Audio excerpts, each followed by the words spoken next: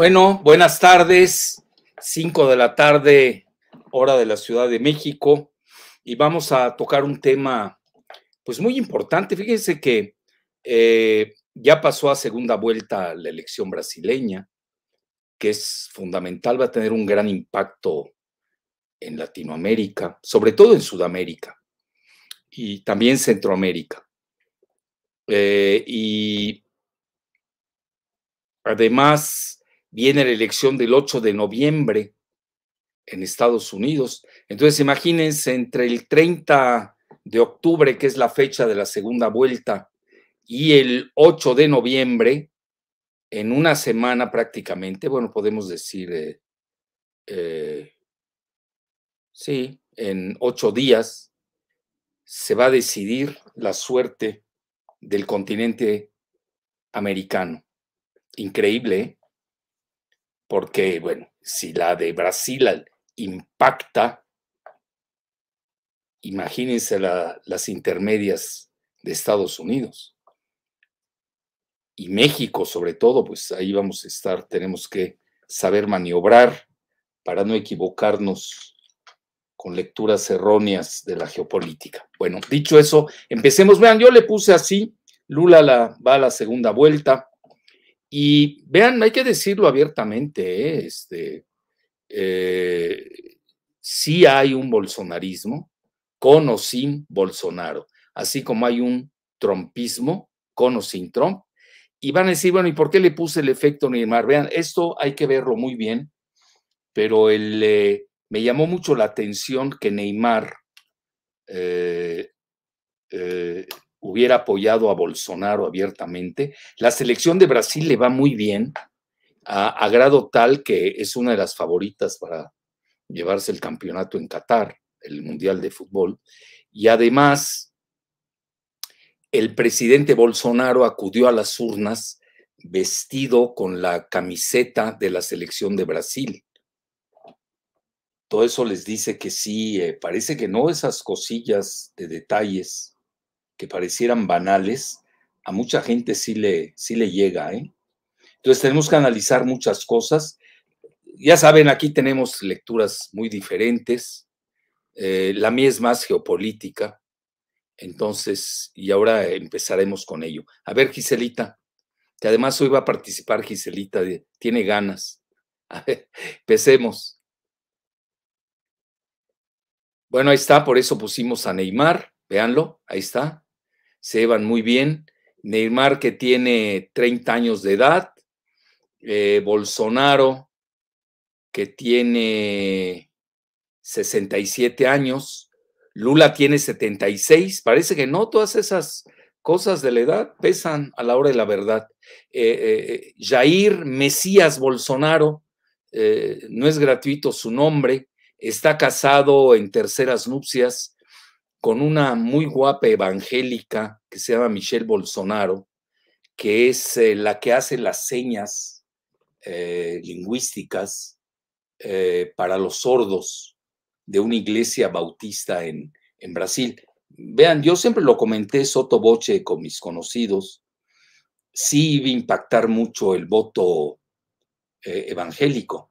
La CIA maneja que son 22%.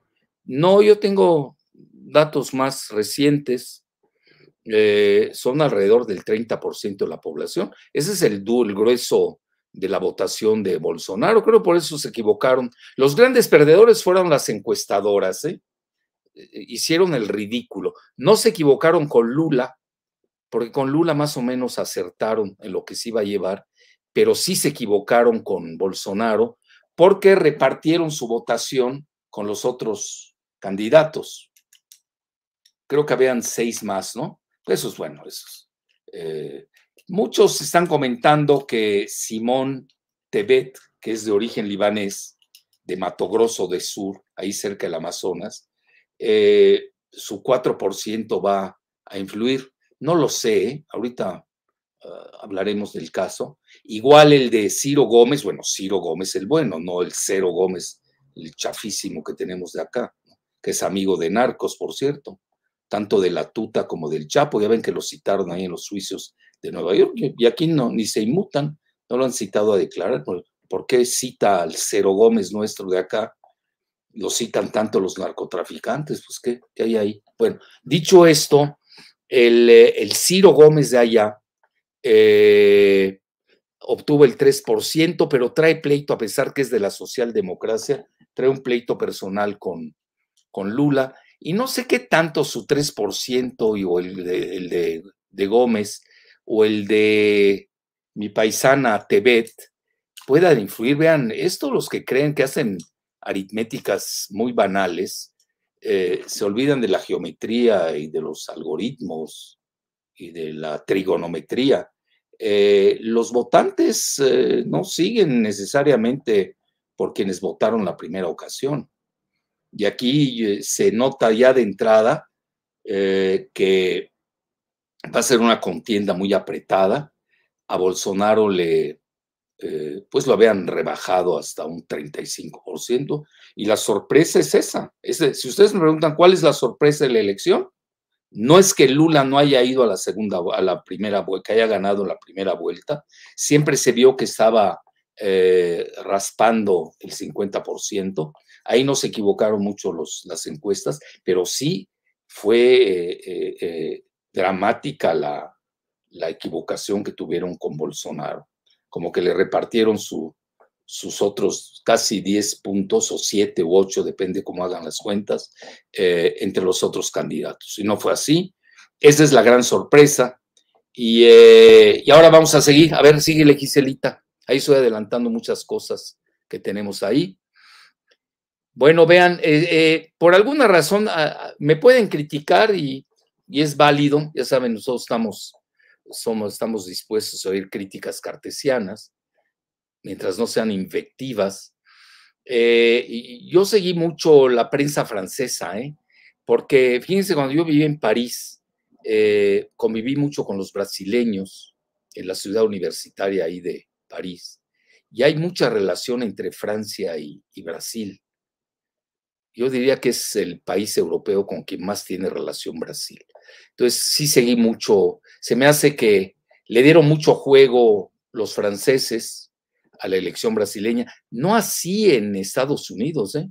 Estados Unidos están preocupados por el huracán Ian más que por la elección de Brasil, eh, que no tomó mucho espacio. Entonces, vean, este es Le Figaro, que es un eh, es portavoz golista, y dice, la sorpresa de Bolsonaro es de que le pisa los talones a Lula en la primera vuelta. Ahí está. Y dicen el ícono de la izquierda brasileña. Y aquí sí vean, hago un paréntesis. Eh, se está dando mucho, ¿eh? ¿eh? Lula es un personaje muy carismático, eh, todo su historial, con su encarcelamiento, les cuento una anécdota rápido. A mí me tocó conocerlo en La Habana, Cuba, cuando me invitaba el comandante Fidel Castro a sus seminarios de globalización, y era un simple ahí este, sindicalista, y, tenía excelentes relaciones con, con eh, el comandante Castro.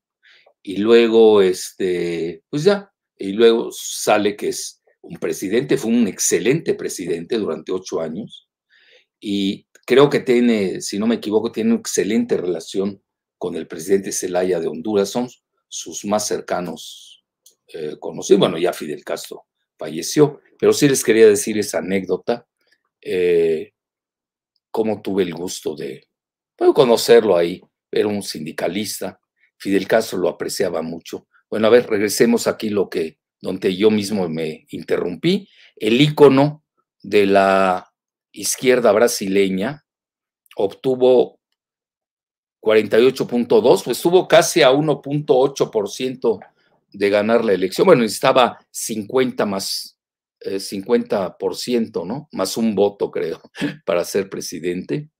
Eh, Y no la tiene fácil en la segunda vuelta. ¿eh? Eh, que a mí me cae muy bien eh, Lula, pero yo soy más amigo de la verdad que de los amigos. Que, ser, que hacemos análisis, no estamos haciendo propaganda. Y Bolsonaro, que fue la gran sorpresa con su 43.3%, que puede dar, cuidado, el campanazo en la segunda vuelta. Van a ser cuatro semanas tremendas. Lula está apostando a un debate donde ahí puede apabullar al ex capitán del ejército. Vean, nadie está hablando de los candidatos a la vicepresidencia. Nadie, prácticamente.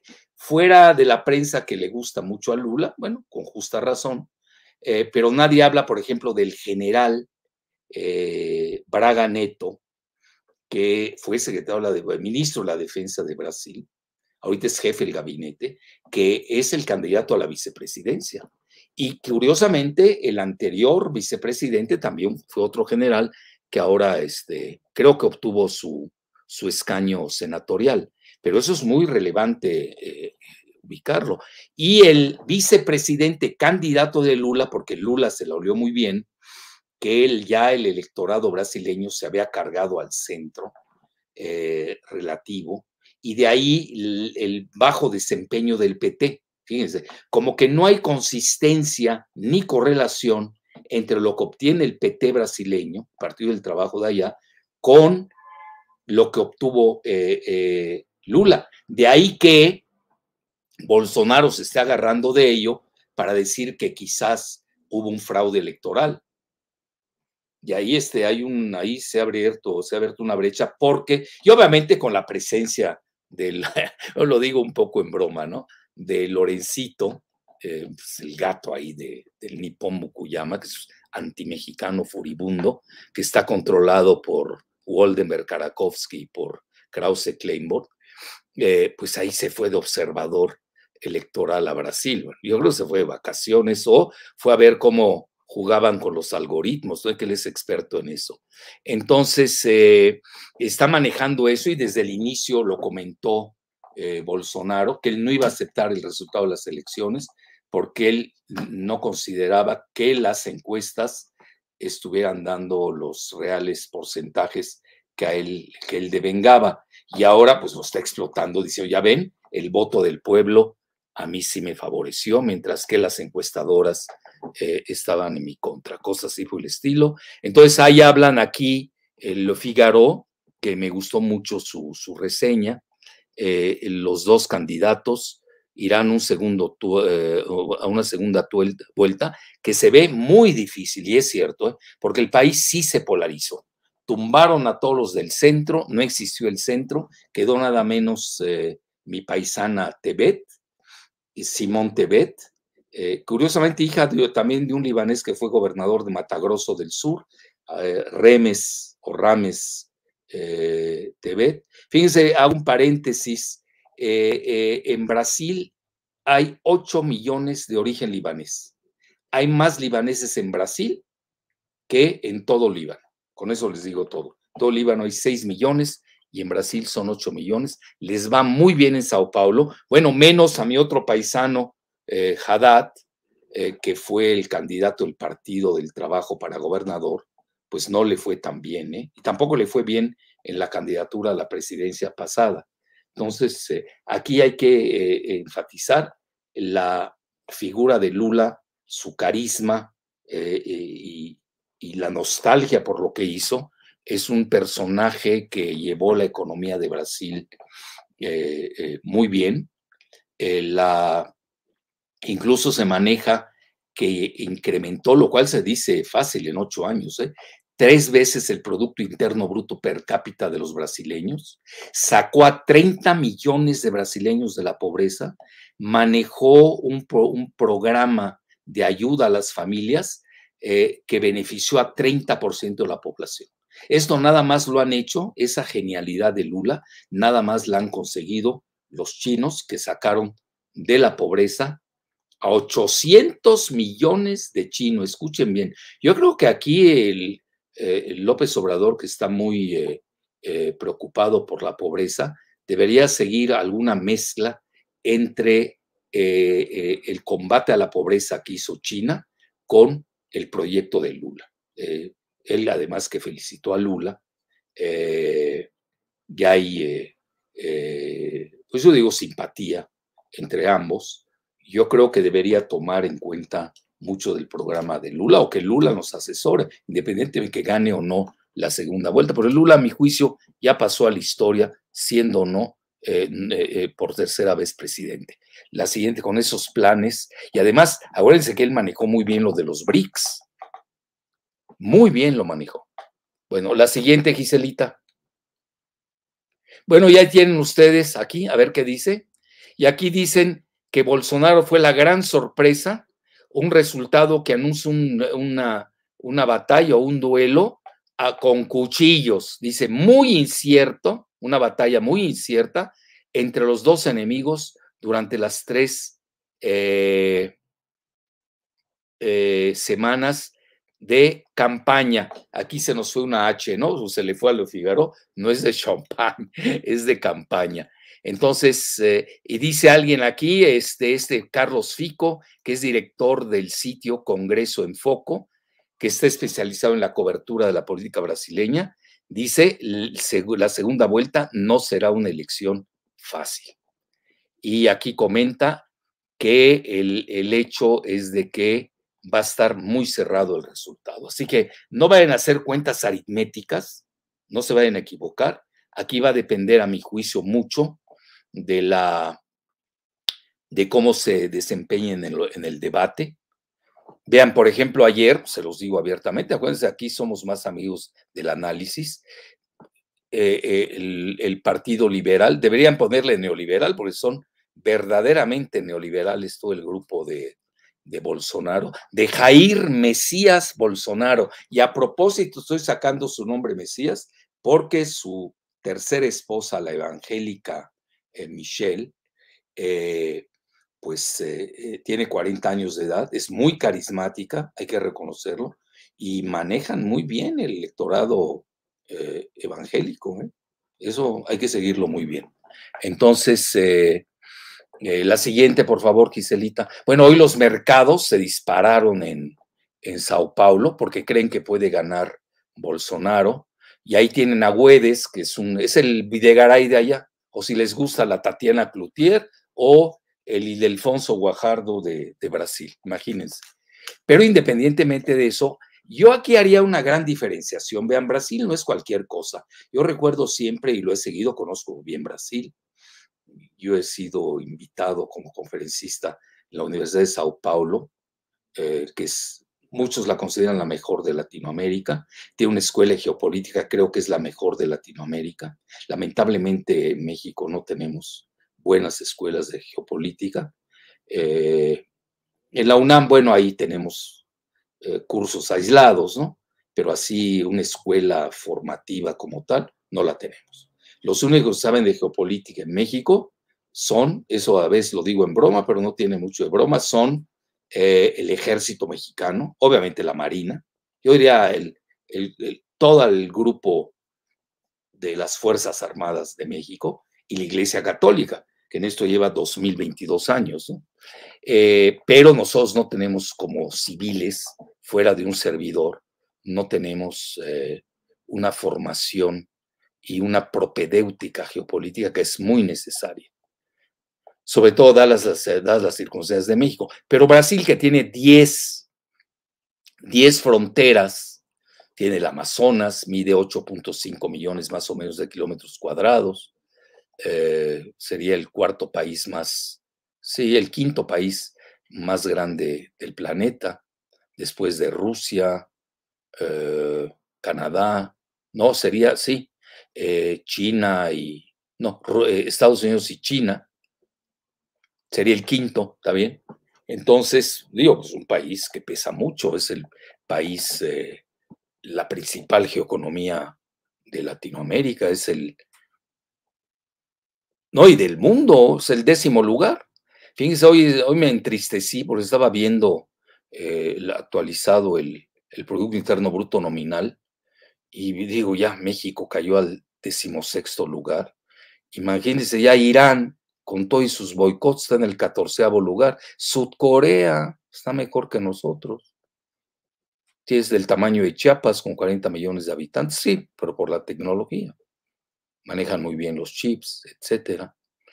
Y Brasil tiene, yo creo que es la, más alta tecnología de Latinoamérica. Ellos pueden hacer una bomba atómica, pero su constitución lo prohíbe. Entonces, yo fui a impartir una clase ahí, ahí, que ahorita vamos a reanudar esos contactos ahí en Sao Paulo y luego me invitó el Congreso a dar una conferencia magistral en el, ahí en Brasilia, que me deprimió Brasilia, salí volado al siguiente día para irme a Río de Janeiro. Se me hace muy fría esa ciudad, no tiene nada que ver con el alma brasileña, ahí se equivocó el gran arquitecto Niemeyer. Entonces, aquí a lo que quiero llegar, el presidente brasileño, comenta lo Figaro, también tuvo éxito en hacer elegir.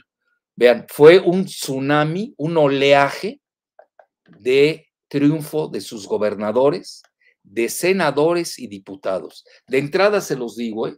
si gana Lula, va a tener una gobernabilidad, va a ser un triunfo pírrico, porque no va a tener mayoría en el Congreso, le van a hacer la vida imposible.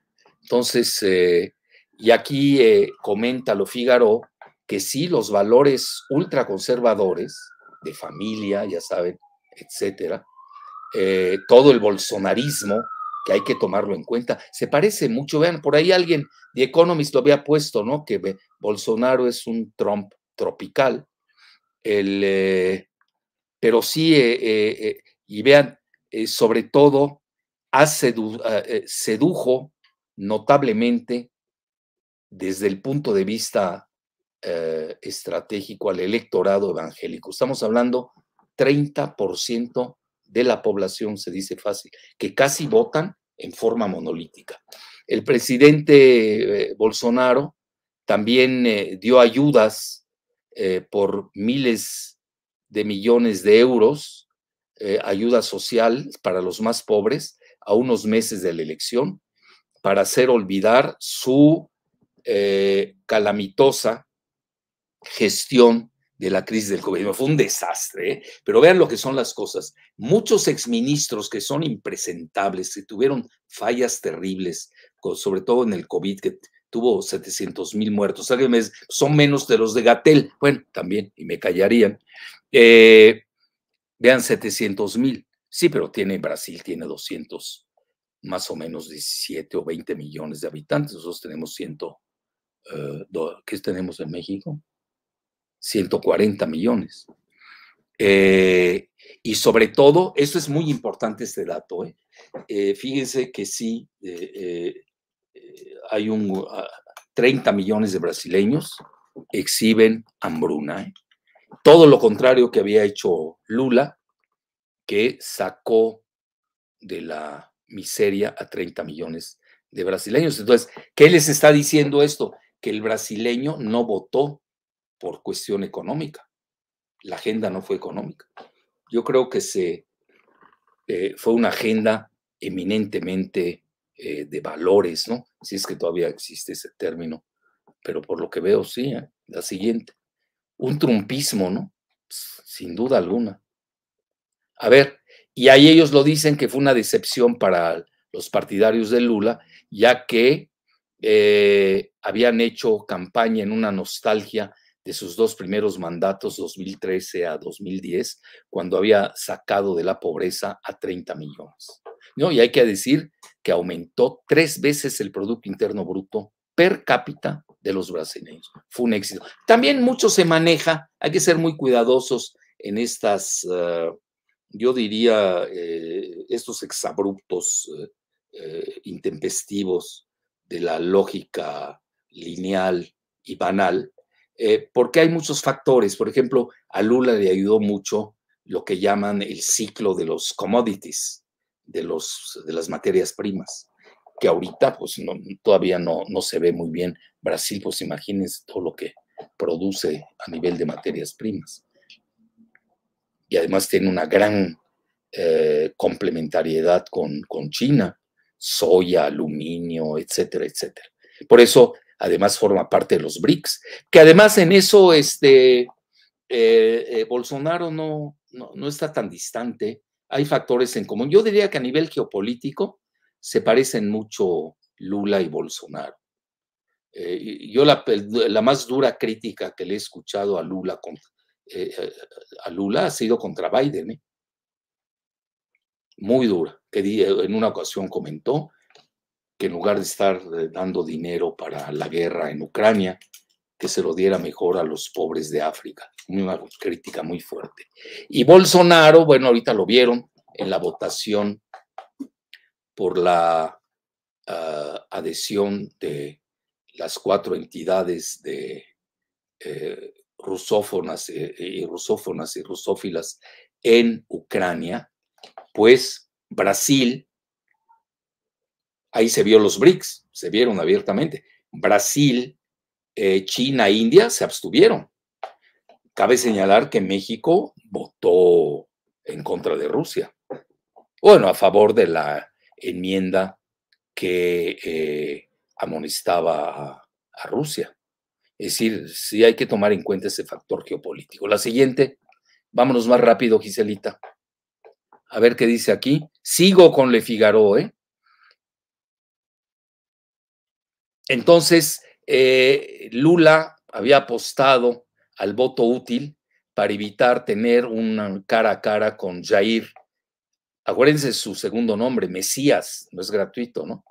Eh, precisamente porque había tenido buenos resultados eh, previos y sobre todo, fíjense que ganó, ganó en los principales estados de, de Brasil, eh, acuérdense, Brasil tiene 26 estados, es una federación. Sao Paulo, en Río de Janeiro y Minas Gerais. Los tres son fundamentales, que concentra la mayoría de los 154 millones de electores. Imagínense. La siguiente. Por eso ahorita la va a ser mucho de estrategias. ¿eh? Ahora estaba leyendo yo eh, que Bloomberg manejó hoy una columna al respecto de que Lula va a dirigir su, estrategia a los estados del noreste, donde él cuenta, bueno, él es de, de una región del noreste. La siguiente, donde piensa que ahí puede tener buenos resultados. Bueno, ahí lo tienen, ahí vieron lo de Simón Tebet, mi paisana, 4.2%, y Ciro Gómez, bueno, aquí el bueno, ¿no? No el Cero Gómez, el chafa de acá. Está más vendido que, que para qué les cuento que qué. Entonces ahí tiene 3% y los demás muy poco obtuvieron. ¿eh? Es que realmente se volcaron por Bolsonaro. Porque si ustedes se dan cuenta, Lula obtuvo más o menos lo que le eh, daban las encuestadoras, mientras que Bolsonaro sí subió mucho, le daban 35%. Bueno, la siguiente, bueno, aquí dicen los otros nueve, otros dicen seis, no sé. Hay tantos partidos en Brasil como los hay en, en Argentina. Yo creo que ya hay que regular eso de tantos eh, eh, partidos, ¿no? Ya cualquiera hable su, abre su, su kiosco de electorero y es un gran negocio, ¿no? Porque los financian. Entonces, ahí tienen ustedes eh, los otros candidatos. Déjame ver aquí un poco esta. Sí, los otros siete candidatos no obtuvieron el 0.5%. Entonces, es una pérdida de tiempo tener tantos candidatos. En Argentina pasa lo mismo.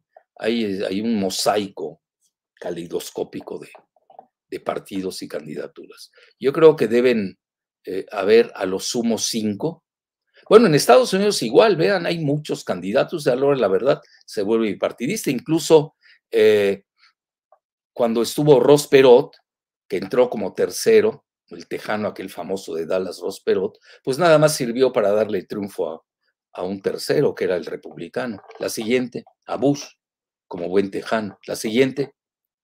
Bueno, ahí tienen ustedes más de 150 millones. Esto fue impactante, ¿eh?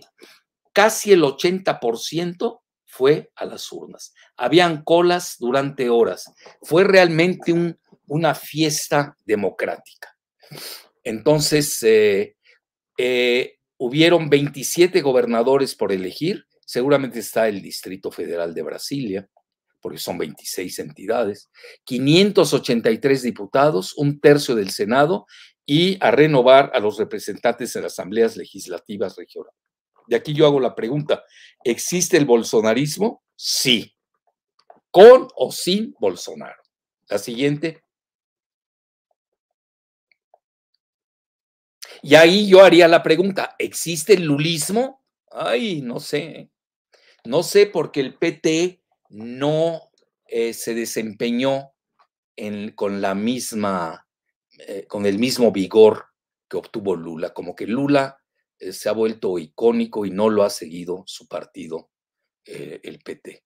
De ahí que se haya cargado, la vio muy bien, se cargó al centro con su candidato vicepresidente Alvin, que por cierto es médico, se formó en, en Harvard y es del Opus Dei, ¿eh? católico, que es importante también el, el voto católico, pues imagínense, es, pues, si no el 70% para llegar al 100 con el 30% de los evangélicos, pues pónganle el 60%.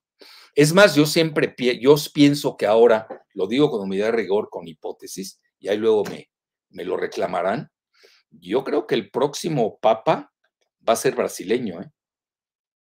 por el voto católico, y antes que se los coman los evangélicos, lo digo geopolíticamente hablando. Ahora que ya el Papa Francisco pues, está enfermo, no puede caminar, eh, pues parece ser que se va. Entonces, eh, pues vamos a tener tres papas al mismo tiempo, ¿eh? Porque todavía está Ratzinger, que no se nos olvide. Ahí está. Ratzinger más eh, el argentino Francisco, que es jesuita, y el tercer papa que ya lo tienen que elegir, sobre todo ahora. Y yo creo que un candidato importante va a ser el, el cardinal brasileño. Bueno, vean cómo estuvo el Partido Liberal. Yo le pondría neoliberal, porque son obscenamente neoliberales, con Güedes, el famoso Güedes más fanal. Bueno, ahí se va, ¿eh? Con Videgaray, con el Ildefonso Guajardo, con la Tatiana Cloutier.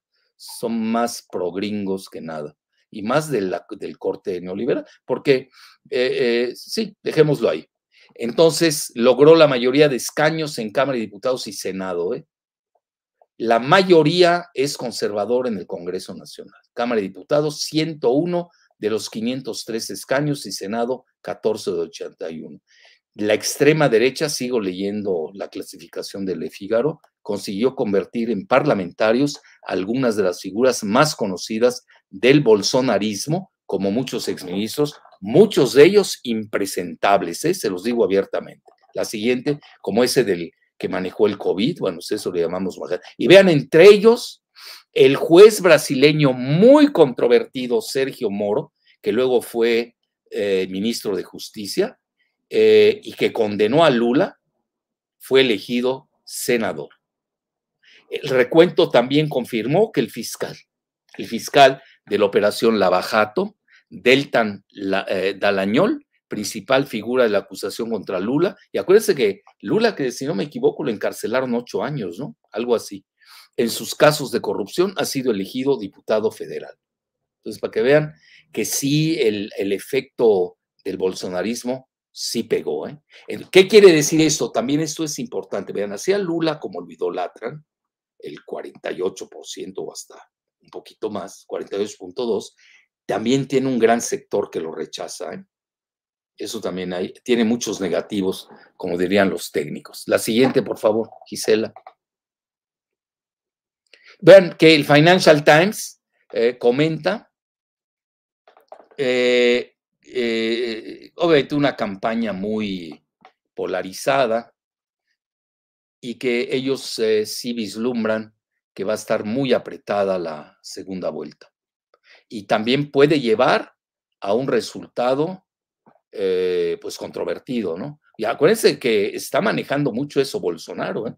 no está aceptando antes del los resultados. Y obviamente si pierde, pues no lo va a aceptar. Y ahí se teme, pues va a entrar a una, a una gran controversia, ¿no?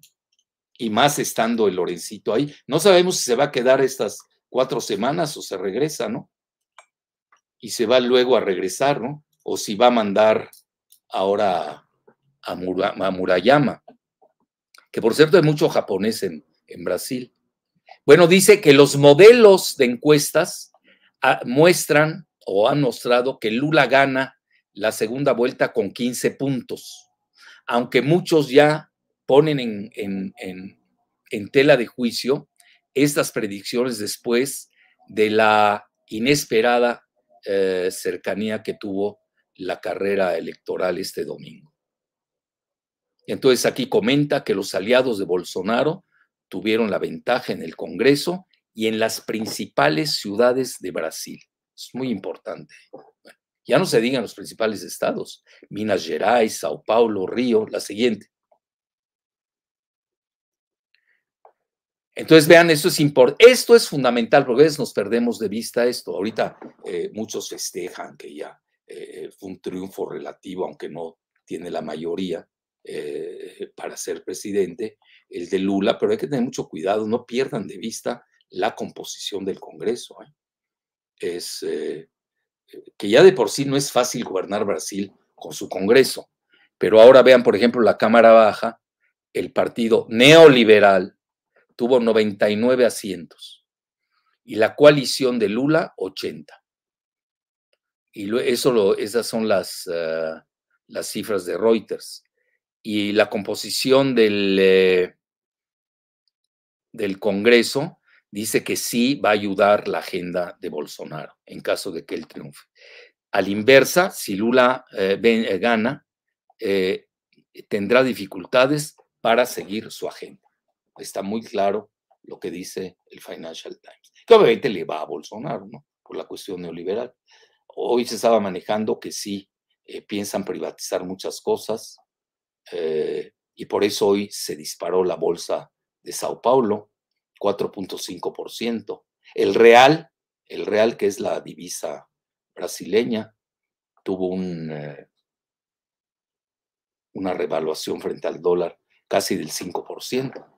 La siguiente, como que ya están festejando antes de tiempo los neoliberales, ¿no? Pero cuidado, ¿eh? La geopolítica es otra cosa, ¿eh? Totalmente diferente. Yo ahí sí veo que a nivel BRICS y a nivel geopolítico eh, hay eh, convergencia, porque esto es también del deep state eh, brasileño, del ejército, todo lo que se maneja como deep state. Y por lo que veo, el deep state sí se volcó a favor de, de Bolsonaro, de Jair Mesías Bolsonaro. Entonces vean, por ejemplo, en eh, Claudio Castro, que es un aliado de, de Bolsonaro, barrió en el estado de Río de Janeiro en la primera vuelta. En Sao Paulo, vean qué interesante, Tarcisio de Freitas, que es de Río, ni siquiera es de Sao Paulo, y acuérdense que ahí pesan mucho los regionalismos, eh, pues no le fue tan mal y lleva una gran ventaja eh, eh, en Sao Paulo para la segunda vuelta. Él había sido el ministro de Infraestructura y aquí comentan que en el Distrito Federal de Brasilia también lo ganó un aliado de Bolsonaro. Ahí lo tienen. Aquellos que quieran meterse a las 26 a la votación, pues ahí lo tienen. Tómense un screenshot y ahí se darán cuenta cómo estuvo la votación. Realmente sí, casi fue bipolar. ¿eh? Yo, eh, está muy fuerte la palabra polarizado. Yo diría que ya el país está, optó por una estructura bipolar. Ahí tiene el resultado de la primera vuelta, etcétera. La siguiente. Muchos comentan que los votos de Simón Tebet y los de Ciro Gómez, el bueno, no el malo de acá, el, eh, van a definir la elección. Yo dudo eso, ¿eh? yo creo que no, eh, porque no necesariamente van a seguir como votaron en la primera vuelta. En la segunda funcionan otros factores. Bueno, aquí será un Senado conservador, ahí lo tienen. Va a estar muy cerrada la segunda vuelta. Eh, la derecha le fue mucho mejor en Sao Paulo de lo esperado. Esto lo comenta el politólogo Eduardo Melo del Getulio Vargas, de la Fundación Getulio Vargas, que es muy eh, acreditada. Y dice, Lula necesitará ganar más votos del centro. Bueno, pues ya tiene a Alckmin, ahí a ver cómo lo, y el voto católico, sobre todo el Opus Dei, que es, eso es Alckmin, su vicepresidente. Para que vean aquellos que son muy lineales, otra cosa es la teoría, la ideología y otra cosa es ganar una elección.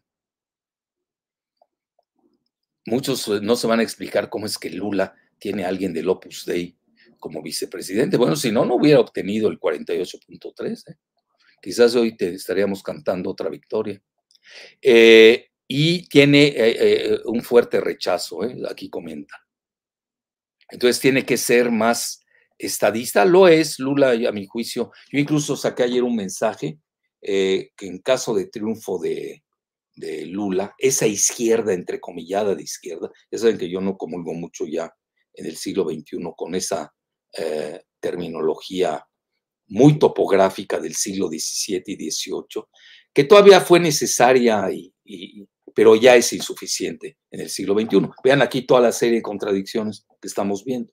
Entonces, el, eh, yo creo que eh, hoy hay que tener mucho cuidado. Entonces comenté, dicho sea con medida de rigor, que Lula es la izquierda geopolíticamente inteligente. Ya ven que hay varias izquierdas, ¿no? Por ejemplo, yo no vi que, que la izquierda rechazada, anatemizada por Estados Unidos, que es la de Cuba, Venezuela y Nicaragua, se haya manifestado en relación a Lula. Y eso ya les conté, Lula pues era muy cercano a Fidel Castro. Digo, también son inteligentes, no quieren problemas y tampoco lo quieren quemar, ¿no? Es esto, se aprovecharían para decir, vean, el comunismo, el socialismo, otras guacamayas brasileñas que ahí sí son de a de veras, pues ahorita estarían explotando ese apoyo, ¿no? La siguiente, a ver aquí que viene, ya, la siguiente, Giselita. Y, eh, y hay una izquierda, pues, que acepta la, ahorita vean, en esos momentos Blinken, el secretario de Estado, está haciendo una gira en dos países que son frontera con Brasil, en, Colombia y en Perú, y luego se va a Chile. Bueno, son las tres izquierdas que aparentemente son correctas para el Departamento de Estado. Y vean las tres eh, reacciones. En realidad no fueron líderes. Yo veo, yo veo un silencio para los 36 o unos cuantos países de Latinoamérica, 30 y pico. Eh, pues nada más vi que se manifestaron Andrés Manuel, eh, este Luis Arce de Bolivia y y, eh, ¿y quién más? Y Alberto Fernández de Argentina. Ah, no, cuatro serían, Gustavo Petro también, etcétera. A ver, ah, también Xiomara, ya son cuatro. Cinco, uno, dos, tres, cuatro, cinco. Bueno, cinco de treinta y pico, pues no son muchos. ¿eh? Lo que pasa es que tengo entendido que el presidente Zelaya siempre ha sido muy cercano a Lula. La siguiente, por favor. Esto es de Sputnik. y esto lo saca Globo, no sé por qué lo tengo en francés, dice, esta segunda vuelta, eh, creo que lo traduje, ¿no? Del brasileño al francés, eh, según el, rotativo Globo, será la primera vez después de su regreso a la democracia en 85, que será disputada por dos eh, pues rivales o concurrentes que ya han sido presidentes. Lula lo fue de 2003 a 2010 y Jair Bolsonaro desde 2019. Realmente Bolsonaro, que tuvo un pésimo desempeño económico, le fue muy bien. ¿eh? Y Lula, que tuvo un extraordinario desempeño económico, eh, pues relativamente, él ganó, si no me equivoco. Cuando sale Lula salió con una aceptación del 80%. Fue un fenómeno. Igual a nivel mundial. Era ejemplar y ahora pues está en 48.3. Quiere decir que ya hay otra agenda, pues sí, 20 años después, ¿no? La siguiente. Y vean el New York Times cómo lo marca. Dice que hay una diferente visión de los dos hombres. Eh, aquí hablan de 217 millones de habitantes y Brasil tiene una serie de desafíos que incluyen amenazas ambientales, todo lo que tiene que ver con el Amazonas, que ya ves, en eso es muy laxo Bolsonaro. Y también eh, el hambruna, pues 30 millones, imagínense. Y una economía de goteo, pues que no le llega a nada, sputtering economy, eso quiere decir. y una población profundamente polarizada. Bueno, bipolar, vamos a ponerla así. Aún con los resultados positivos, Bolsonaro eh, también sugirió que pudo haber existido fraude, escuchen, ¿eh? y que va a esperar a que los militares verifiquen los resultados. Ahí podemos tener cosas raras, ¿eh? Muy bien, acuérdense que eh, eh, Bolsonaro es ex capitán del ejército. Ya tuvo, ya lo apuñalaron en una ocasión. Eh, prácticamente Lula tiene 10 años más que él. Lula tiene 76 años, Bolsonaro 6, 7. Pero también pesa el, es que sí, el, que lo habían apuñalado, tuvo un problema ahí debido al apuñalamiento que tuvo lo operaron los intestinos, etcétera, etcétera. Entonces aquí vean que esto lo dijo Bolsonaro, que siempre existe la posibilidad de algo anormal, que suceda algo anormal en un sistema computarizado totalmente. Bueno, eso también es importante decirlo. Ya ven que como imita mucho los algoritmos de Trump, entonces que manejó Trump, pues también ellos están manejando eh, que, quizás hubieron ahí algoritmos raros. Entonces, eh, pero hay que reconocer que es una de las máximas democracias de Occidente, el sistema brasileño. Todo está eh, computarizado, es, el voto es electrónico y a las cinco horas, a las cinco horas después de la elección, ya se puede saber quién fue el triunfador, como ayer lo vimos. En los rincones más recónditos de un país tan inmenso como es Brasil, pues prácticamente más de cuatro veces que México, ¿no? La siguiente, por favor. A ver aquí qué dice. Entonces, Bolsonaro intenta ser el primer presidente eh, en turno que vaya a perder su reelección desde que empezó la democracia moderna en 1988. Bueno, eso lo dice el New York Times y Lula intenta completar su resurrección eh, asombrosa, lo cual parecía impensable. Bueno, lo que pasa es que tampoco ha tenido buenos candidatos a la presidencia. Lula, me van a respetar, pero Dilma Rousseff no, nunca estuvo, era una parachic, una burócrata, nunca fue carismática.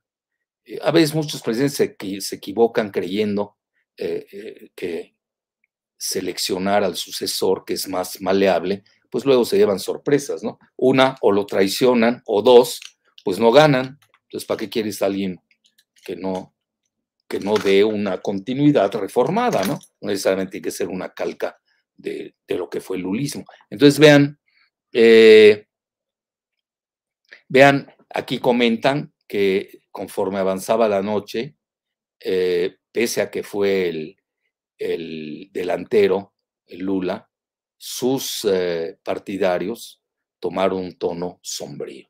Pues sí, todo lo que estamos diciendo también lo ven, porque son tontos. La siguiente. ¿Qué falta, Giselita? Vean, esta es la BBC y dice, eh, intenta regresar 20 años después,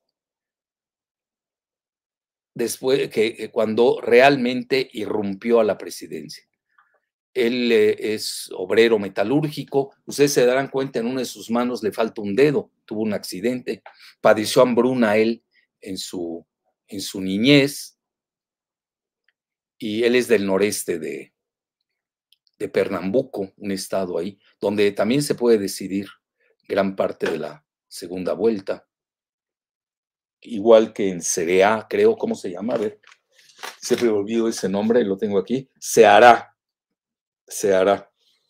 Que de ahí es el famoso Ciro Gómez el Bueno, ¿no? Eh, entonces sacó a muchos eh, brasileños de la pobreza, pero sí tuvo todos esos eh, problemas de escándalos de la corrupción. Entonces, aquí comenta, y no sé por qué me salió en francés, andaba muy francés ayer, muy francófilo. Eh, cada uno puede decir que ganaron ayer, es lo que comenta el ABC. Lula, que eh, estuvo 580 días Entonces no fueron los ocho años que dije. Fue sentenciado a, esos años, pero estuvo 500 días en cárcel. Luego fue invalidada su, su condena,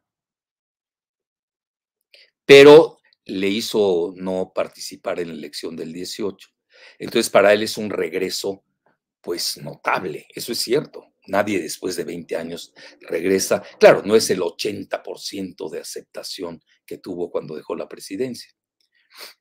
Pero, pues, por lo menos, pues, nadie está llegando a esa cifra que obtuvo eh, Lula. Vamos a ver cómo le va en la segunda vuelta, porque van a haber otra serie de factores. Obviamente también vamos a llevar adelante la, el resultado, va a ser fundamental.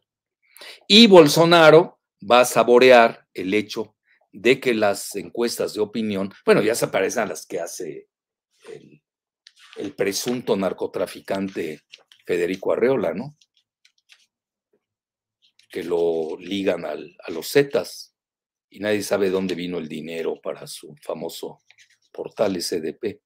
Además que luego lo compra la mitad Televisa y ahí lo maneja Krause, ¿no? Eh, los sondeos de opinión lo veían muy lejos detrás de Lula. Y ahora pues vean, él está eh, manejando que para él pues le ganó a los sondeos. Las grandes perdedoras ayer fueron las encuestadoras. La siguiente. Y vean, esto es muy interesante, la portada de, de la jornada.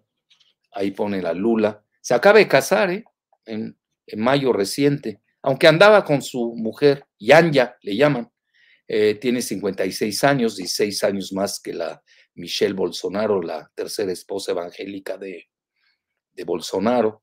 Entonces, y aquí este, ahí manejan, está interesante su perspectiva, etcétera.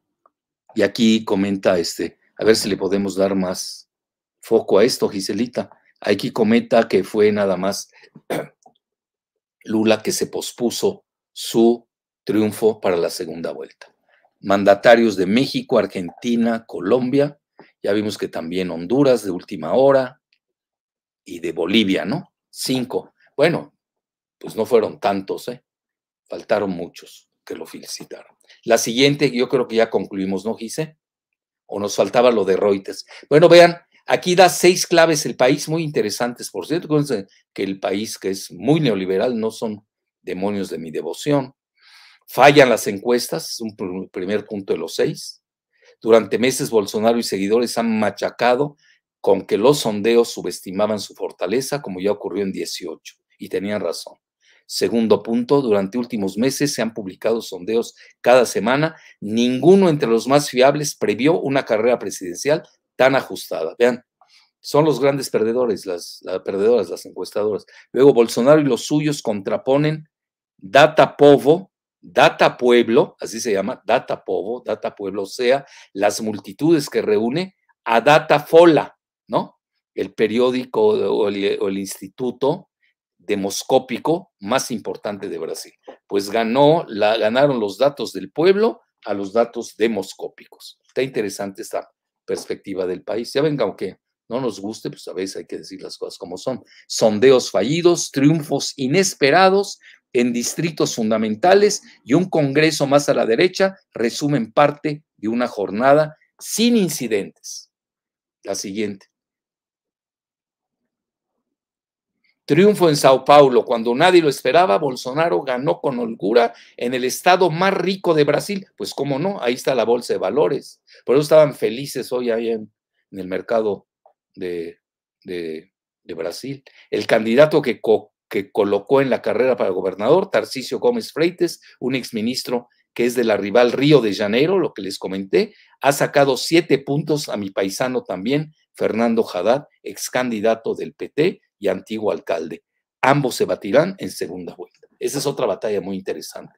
Aquí van a ser siete puntos de diferencia y entre, entre Gómez Freitas y Haddad y los cinco puntos entre Bolsonaro y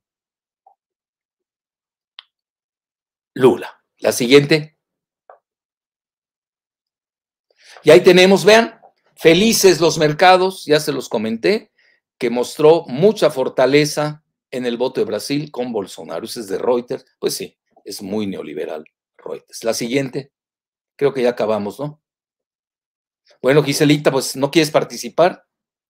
Bueno, la primera, el primer punto es que a mí me parece interesante es que el voto es obligatorio para el grueso de la población. Entre 18 y 69 años, la gente está obligada a votar. Más allá de 70 años y para 16 y 17 es opcional.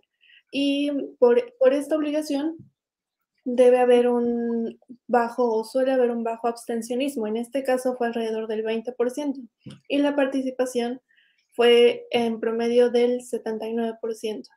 Em, uno de los puntos interesantes es que, como lo mencionaba el doctor, em, el punto fuerte de Bolsonaro son los evangélicos que representan más o menos el 30% del electorado en Brasil.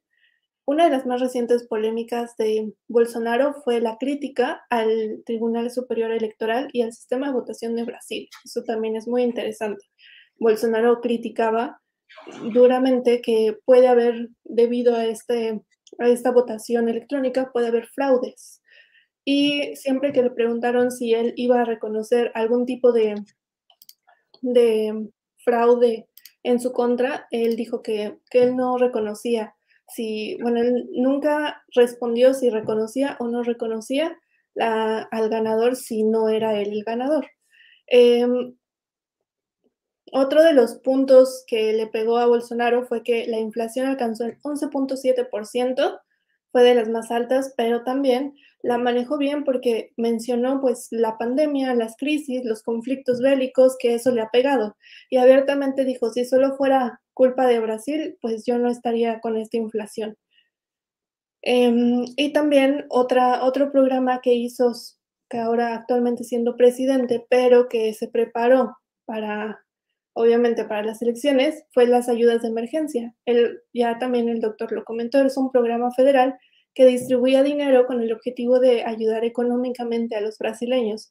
Unos seis meses antes aumentó esa ayuda a, los brasileños. Entonces eso también incitó a un, mejor desempeño en las boletas. Y bueno, otro de los puntos eh, que em, en contra de Lula, pues fue obviamente la corrupción y este... Bueno, que ese es común denominador a todos en Brasil, ¿eh? Yo creo que eso. A unos los persiguen y a otros no. Ahí el problema es el poder judicial, que está muy politizado pero sí, la corrupción, hay que decirlo, serán mis amigos los brasileños, los quiero mucho, ustedes se ponen a ver la biografía de cada, de, vicepresidentes, y los dos también, ¿eh? mi paisana de Matagroso del sur, y el mero, el miro, el mismo Ciro Gómez, el Alcmín, oh, tiene puro escándalo. Este, todos, nadie se salva. ¿eh? si se ponen a escarbar, no acaba. Pero a quien le pegan por toda la mecánica de Moro, acuérdense, formado en Harvard, había la agenda pegarle a Brasil por lo de los BRICS, que nunca se lo van a perdonar. Vean, yo recuerdo un dicho, disculpa que te interrumpa, Giselita, eh, un dicho que decía Nixon. Me acuerdo de eso cuando yo empezaba a leer geopolítica por ahí de la década de los 70. Siempre comentó Nixon, América Latina será lo que sea Brasil. Y es cierto hasta la fecha. El décima, la décima potencia geoeconómica del mundo, la primera de Latinoamérica. La segunda viene siendo México. La tercera ya es Colombia, ya desplazó a Argentina. Cuando Argentina era la primera de Latinoamérica a inicios del siglo XX, por toda su cuestión agroalimentaria. Entonces, hay que tomar mucho en cuenta, digo, Brasil no es poca cosa, eh, ya saben, maneja muy, tiene muy buena tecnología, todavía relativamente, todavía no llega a los niveles de Estados Unidos, de Rusia y China, pero tiene un buen nivel. Ya les comentaba, incluso pueden fabricar una bomba atómica, no lo han hecho porque no se los prohíbe la Constitución. Pero digo, no es cualquier cosa Brasil. Estamos hablando del país más poblado de Latinoamérica. Eh, imagínense lo que mide, 8.5 prácticamente millones de kilómetros cuadrados, 217 millones de habitantes, etc. Es un gigante, realmente. Entonces, lo que pasa en Brasil va a tener un gran impacto en Sudamérica. Sigue, legislita, discúlpame. Bueno, y bueno, de los, de los puntos fuertes de Lula es que en su gobierno el área económica no se vio tan mermada como eh, la de Bolsonaro, pero bueno, también fueron contextos diferentes. En su, en su periodo, eh, Lula solo tuvo una inflación del 5.9%. Entonces él también em, tomó de eso mano para poder hacer como un discurso más económico. Y bueno, como también lo comentaste, el país está dividido en dos mitades, que es el norte-noreste, que está apoyado, es el bastión duro de Lula. Em, por lo general ahí la gente es un poco más pobre. Y en la región del sur, sudeste, ahí pues es el, el, punto fuerte de Bolsonaro, donde son más conservadores. Em, el estado de Amazonas es interesante porque cambió. En la primera elección de 2018 de Bolsonaro estuvo a favor de Bolsonaro, pero por estas controversias que ha habido y es a la actitud de Bolsonaro, pues ahora se fue más o se cargó con eh, Lula. Bueno, pues también como tú mencionas, se ha cuestionado por qué ante el pobre desempeño económico, ante una pandemia que no se supo manejar en Brasil, por qué todavía hay una fuerza de Bolsonaro. Entonces, ahí se puede responder a este bolsonarismo, a estas ideas y a estas creencias políticos, sociales y religiosas que representa Bolsonaro, más allá del aspecto económico o del desempeño de sus primeros cuatro años, podría responderse a lo que tú mencionas sobre el bolsonarismo. Y bueno, ah, ya para concluir, el significado global, a mi juicio, de las elecciones es que estando Lula o estando Bolsonaro, ya vimos a los dos en el poder. Ninguno de los dos va a hacer a nivel global grandes cambios. Los dos están en los BRICS, los dos tienen acuerdos con Estados Unidos y con China y están en un contexto en donde, China y Estados Unidos están peleando toda Sudamérica. Entonces, ellos van a seguir en este vaivén entre estas grandes potencias. Bolsonaro se iba muy bien con, con Putin. Exacto. Y no, no se salió, ni siquiera hubo una intención. Con Trump se iba muy bien. Sí. Y no hubo ninguna, en ningún momento una intención de salirse de los BRICS, de romper este acuerdo, de romper esta alianza. Inclusive fue a, a eventos con los BRICS. A nivel regional, yo sí veo un cambio, un cambio en, por ejemplo, este, Bolsonaro no siguió como esta tendencia hacia la integración regional de Latinoamérica, eh, se cargó más con el CELAC en ciertas resoluciones, perdón, se cargó con la OEA en ciertas resoluciones, dejando al lado el CELAC, mientras que Lula sí es como un referente sobre esta integración latinoamericana. Ahí yo vería un poco el, el cambio de la política exterior, solo a nivel regional a una mayor integración latinoamericana. Y ya. Muy bien. Gracias, Iselita. Bueno, empecemos con las preguntas y respuestas. Primera pregunta, mencionan, doctor, ¿considera que existe la posibilidad de que si gana Lula, podría haber una expansión del grupo de Shanghai en América Latina? No, no tiene que ver el grupo de Shanghai con... No, nada. El grupo de Shanghai es más de seguridad eh, euroasiática.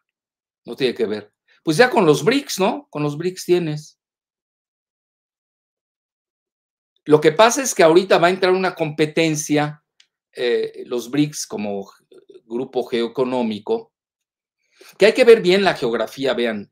Eh, incluso antes se manejaba un grupo que se llama BIS.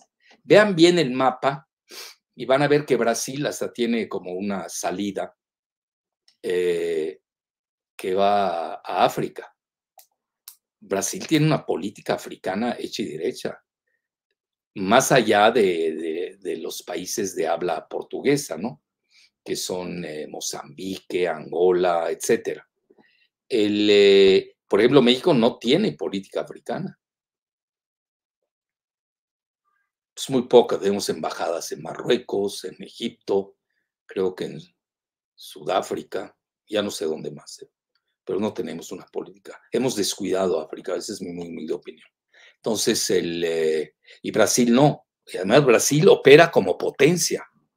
Ellos no se ven, pues vean, con todo y sus bemoles anda en el décimo lugar eh, en el Producto Interno Bruto nominal. Ah, igual que Rusia, ¿eh? Claro, le falta la cuestión militar tan poderosa de Rusia. Ahora, los militares en Brasil pesan mucho, pero no, no son aventureros como otro tipo de militares de Sudamérica. Ah, me, refiero al irredentismo, ¿no? Ya saben, la palabra irredentista son los expansivos. Muy bien, entonces no, no veo eso. Ahí la competencia, ven que Estados Unidos ha tratado de hacer una extra OTAN, pensaron en Argentina, luego pensaron en Colombia, etcétera. Eh, pero Brasil sí tiene, eh, sí maneja bien su geopolítica, hay que reconocerlo. Me consta, y cuando estuve en la Universidad de Sao Paulo, tiene un departamento de geografía muy importante, tiene tantos alumnos como la Facultad de Derecho. Vayan ustedes aquí a nuestra magna casa de estudios, que es la UNAM. Creo que eh, la materia de geografía la imparten en filosofía y letras. La última vez que pregunté me dijeron que tuvieron que cerrar el curso porque no habían ni seis. Es decir, como que no nos interesa la geografía de México. Cuando nosotros tenemos dos océanos, tenemos, imagínense, Estados Unidos, nuestros mexicanos en Estados Unidos, eh, el Caribe, el eh, Guatemala, Belice, pues, todo eso hay que verlo muy bien. Y como que no, a veces no conocemos ni, nuestra propia geografía. Entonces, no, no veo eso. ¿eh? La siguiente, Gisela. ¿Tienes muchas, pocas, regulares? Hay varias. Bueno. Siguiente pregunta. Si gana Bolsonaro en la segunda vuelta, ¿habrá más bases militares en Brasil, de Estados Unidos y apoyo a Trump de la derecha brasileña? No sabía que hubieran bases militares de Estados Unidos en Brasil. Eso es para empezar, ¿no? Como respuesta a la pregunta. No lo sé, si alguien lo sabe, que me ilustre. Eh, son muy quisquillosos los militares brasileños, ¿eh? no aceptan tan fácilmente bases militares. Eh, al menos que haya algunas secretas que yo desconozca. Sin duda, la relación de Bolsonaro es mejor con, con Trump. Eso sí, hay que reconocerlo. Eh, y, de Lula, eh, pues habría que ver, ¿no? Pues a Lula nunca le tocó Trump, le tocó otro tipo de demócratas. No sé, habría que ver su fecha y cotejar quienes estaban en el poder en Estados Unidos. Pero Lula siempre mantuvo con Brasil, pero eso también hace parte del establishment brasileño. No se vayan con la finta topográfica de izquierda a derecha. Pues vean ahorita cómo jala a Alckmin como vicepresidente, que es de centro, aunque se fue un partido socialista brasileño que no pesa tanto.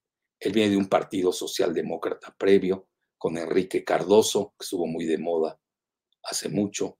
Y, eh, eh, pero vean la visión que él tiene, es de BRICS, la relación que, que hay con China, pero eso fue hace 20 años, aunque hubo de cierta manera antes de Bolsonaro con Dilma Rousseff, pues hubo una cierta continuidad, ¿no? En la, en la política de Brasil. Pero yo diría que la política de Brasil, no hay bases de EU en Brasil. Ahí está, gracias, Jorge Aquino.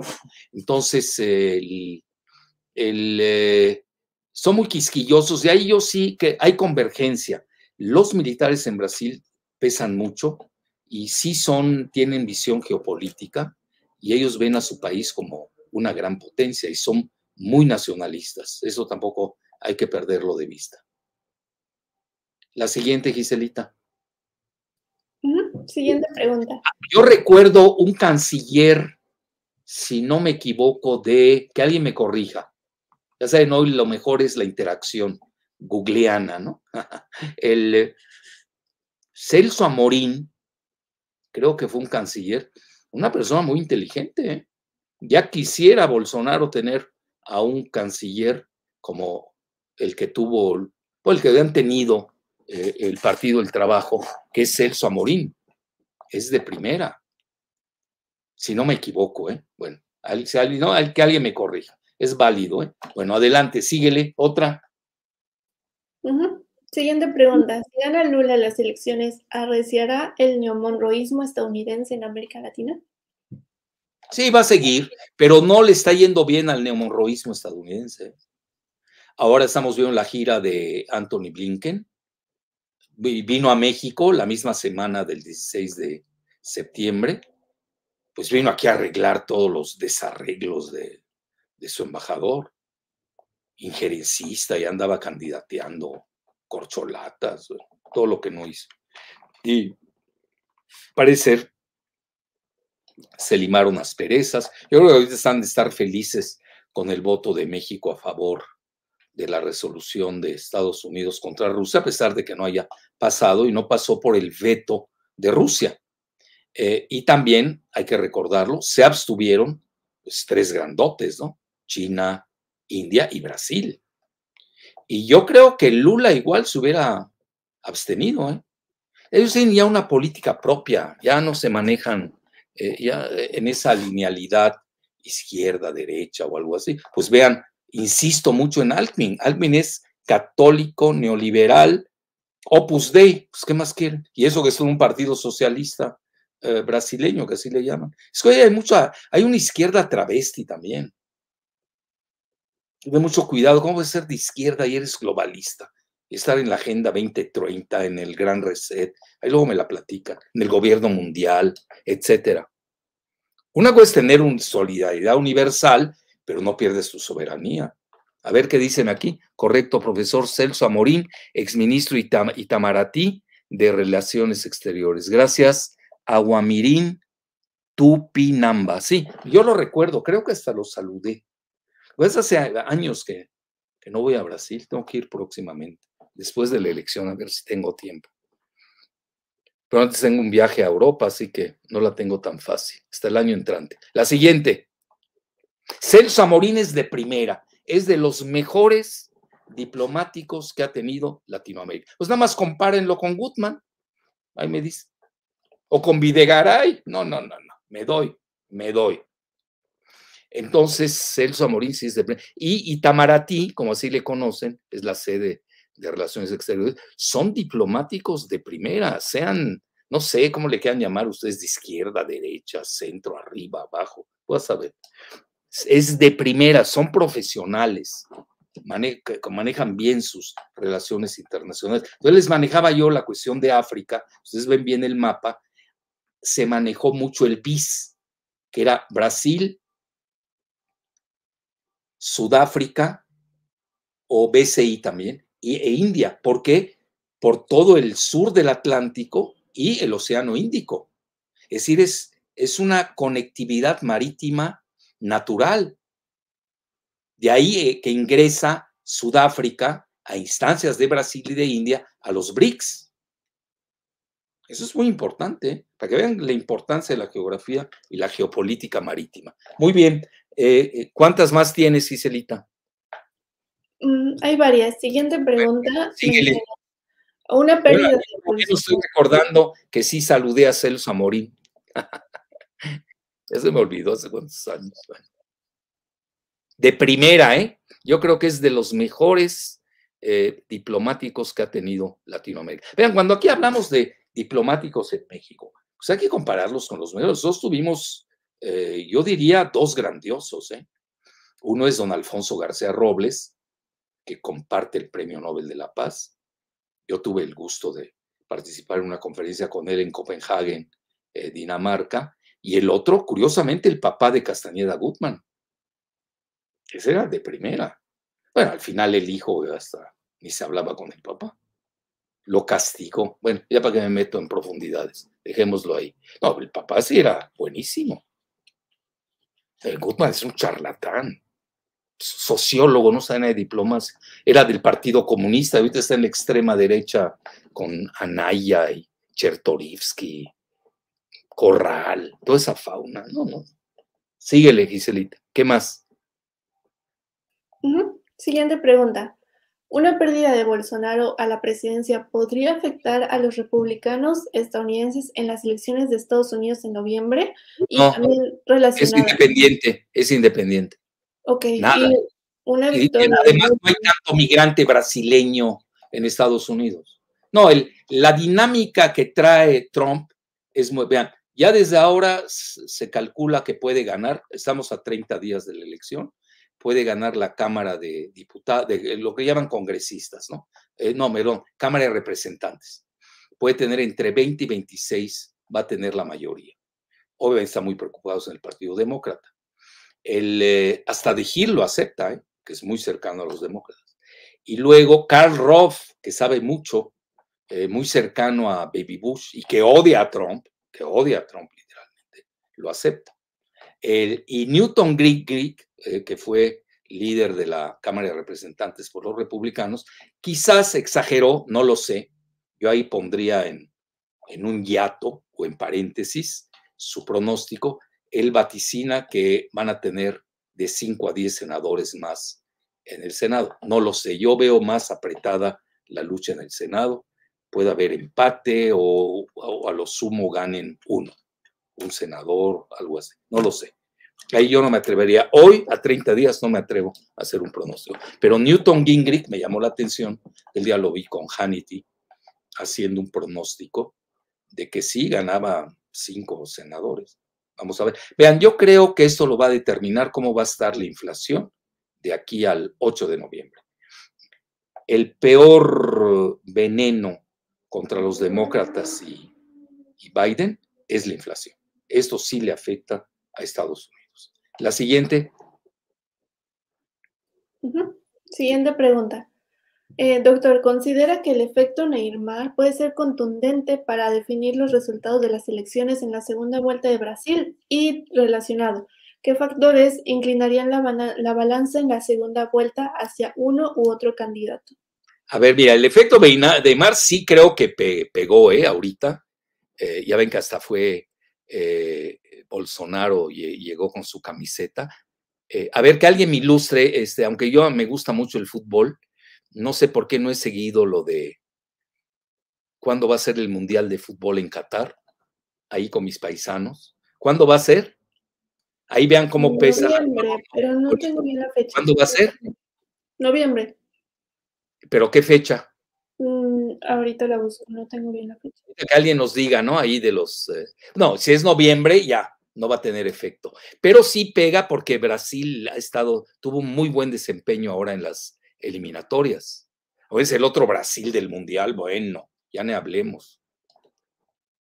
Yo rara vez pierdo una apuesta, y sí perdí una apuesta. Pero ahora este, tiene muy buen equipo y ha jugado bien. Y eso lo explotó muy bien eh, eh, Bolsonaro. Vean, todas esas cosas pesan. Ustedes me, a ver qué dicen. Noviembre 20. Ah, muy bien. Aquí nos los dice Soccer. ¿Qué? ZZ5. Gracias. El 20. No, ya no. No va a pesar ni en ni en ni en Estados Unidos ni en Brasil. Pero ya saben la foto, ¿no? Este, los jugadores. Hay un tal Roma, eh, eh, eh, ¿cómo se llama?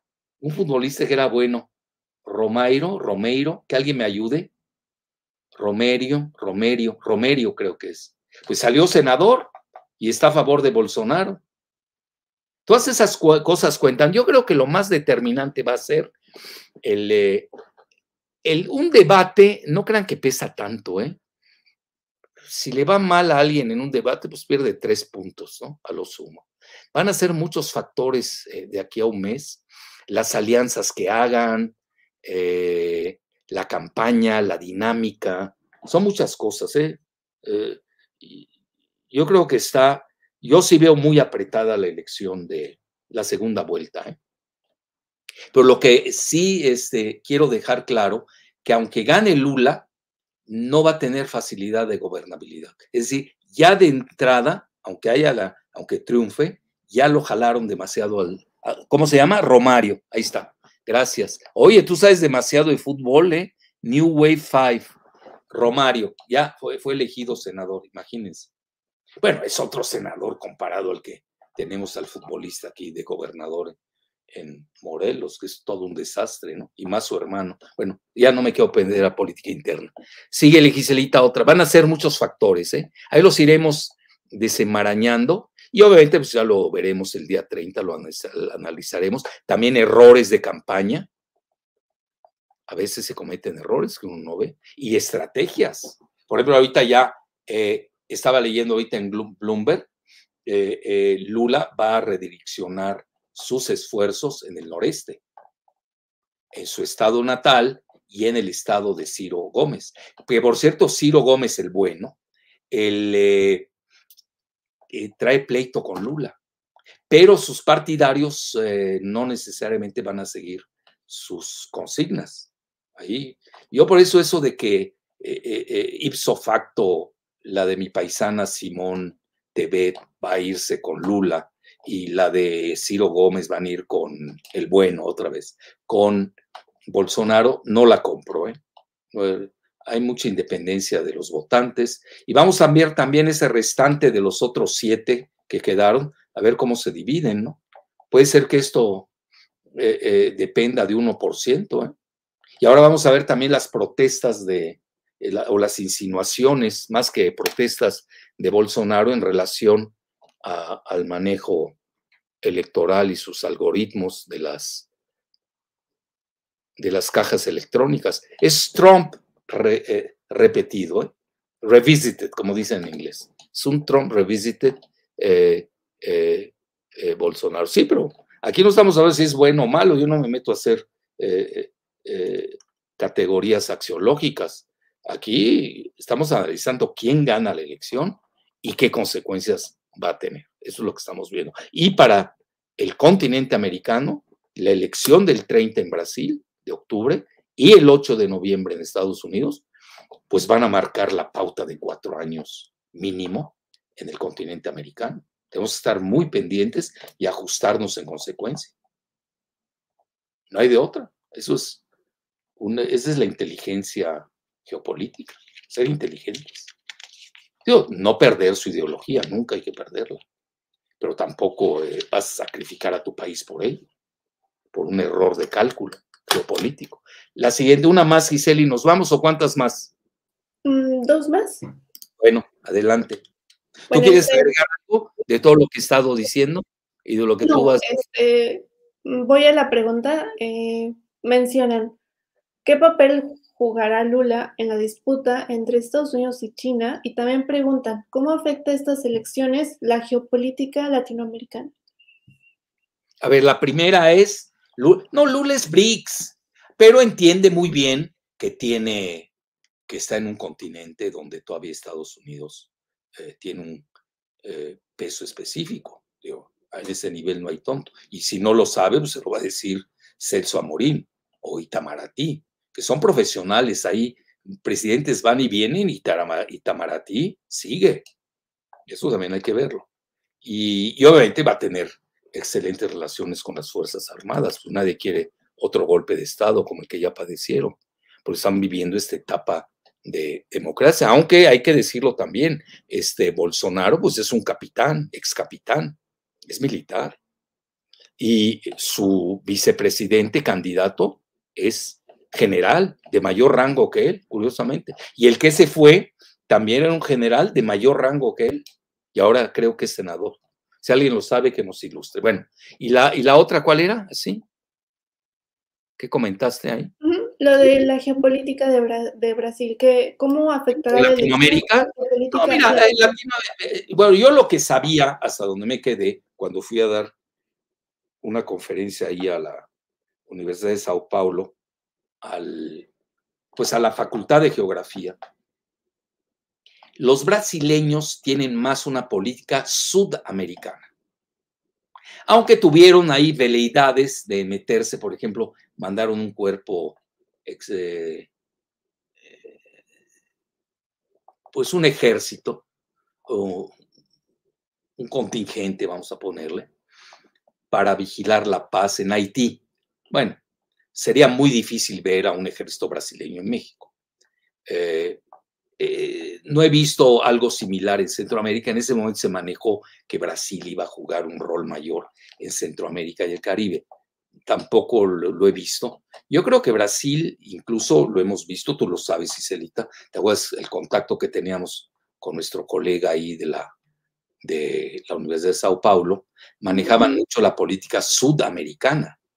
Brasil tiene una política sudamericana exprofeso. Es una, ellos son más Mercosur que UNASUR. Interesante. ¿eh? Entonces, eh, y por el peso, imagínense lo que, eh, lo que uno tiene que tomar en consideración, la ponderación brasileña con sus millones de habitantes y de kilómetros cuadrados de superficie.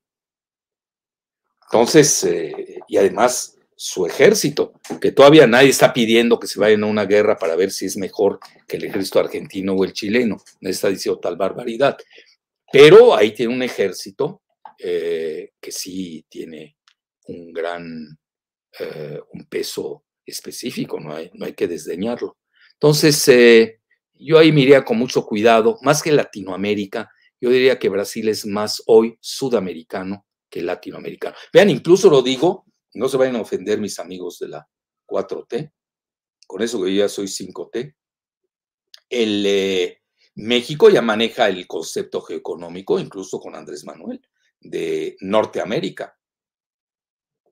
Que Norteamérica, pues estamos unidos a dos países prácticamente mayoría anglosajona, aunque haya latinos en Canadá pero el 62% de Estados Unidos son anglosajones y tenemos con ellos un TEMEC, Tratado México, Estados Unidos, Canadá. Se habla específicamente de, Norteamérica, que es un concepto del ITAM. A mí me llamó la atención cuando leí eso, escuché ese,